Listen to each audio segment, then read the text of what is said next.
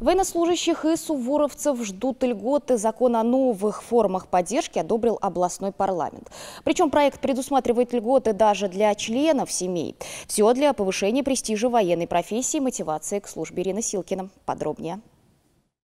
Льготы на проезд, бесплатное посещение музеев и, самое главное, материальная поддержка. Депутаты Соцкомитета Законодательного собрания Ульяновской области в первом чтении обсудили возможности введения дополнительных льгот для военнослужащих по призыву. Самые говорится, крупным выплаты, которые предусматриваем данный проект закона, это 25 тысяч рублей. Человек, который приходит после армии, э, устраивается на работу, ему материальная поддержка нужна. Это также в случае заключения брака на территории Ульяновской области для ребят, которые в течение года после службы э, решат вступить в брак и заключат союз двух сердец. Согласно законопроекту, проходящие военную службу по призыву и члены их семей могут получить право на бесплатное посещение музеев, театров и кинотеатров, а также одного из объектов спорта расположенных на территории региона. Также для них предлагается ввести 50% скидку на пользование поездами пригородного сообщения, бесплатный проезд, включая багаж, в муниципальном и межмуниципальном транспорте.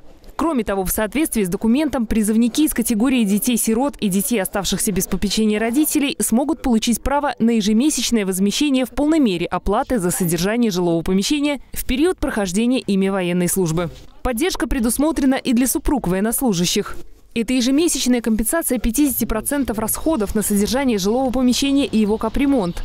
Единовременные пособия по беременности и при рождении ребенка по 5 тысяч рублей, а также ежемесячное пособие на ребенка в размере 3 тысяч рублей. Я когда служил в армии, такого не было. Сегодня солдат не только отправляет служить полностью экипированный в военкомате, но при возвращении, по, по возвращении из армии уже ждет их социальная поддержка. Я думаю, что интерес службы армии будет повышаться и популяризироваться, подниматься будет популярность службы в армии. По оценкам экспертов, на поддержку ежегодно смогут рассчитывать более двух тысяч военнослужащих. Из бюджета на эти цели потребуется более 54 миллионов рублей. Закон в случае его окончательного принятия вступит в силу в 2021 году.